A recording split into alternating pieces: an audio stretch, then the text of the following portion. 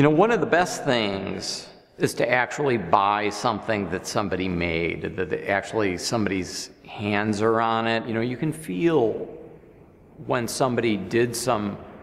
you know, did a painting by hand or did a sculpture by hand. You can actually, it actually emanates the artist's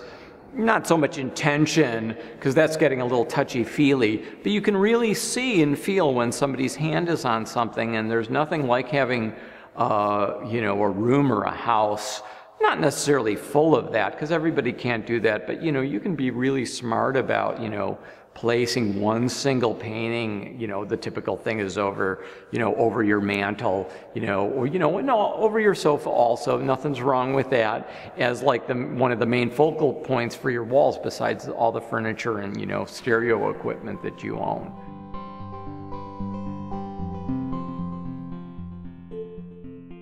I think the most practical steps you could take would be just get out there and sort of ease into reading about art, you know, reading about art in the art section of the paper, magazines, actually going to museums and galleries if that's not in your normal day, you know, not so much day to day, but more like a weekend driven thing. You know, I would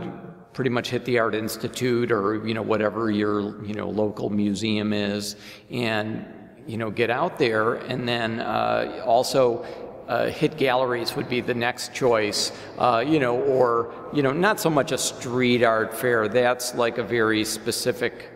thing, and you really want to hit something that is you know you know got, got a little scholarship behind it.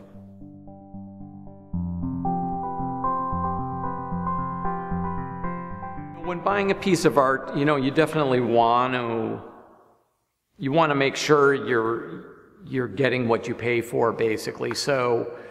you know, artwork could be $100 or it could, could be $1,000 or it could be $10,000. I mean, those are pretty easy increments to think of. You know, an $100 piece might be something that you bought like at a street fair real casually, you know, or or some sort of quick sketches out of somebody's studio or something like that. Getting into the, the you know, five or ten thousand dollar price point, that's actually, you know, you really want somebody that is either, uh, you know, really, you know, their career is taken off right from the get-go, which is very rare, um, you know, right out of school or something like that. Uh, but usually if something's reached that $10,000 price point, there's usually a, you know, a strong resume behind that. And, you, and that's basically what you can do. You can ask the artist for their resume and bio and find out where they went to school and if they've got other galleries besides the gallery that you're in, you know, that kind of thing. And,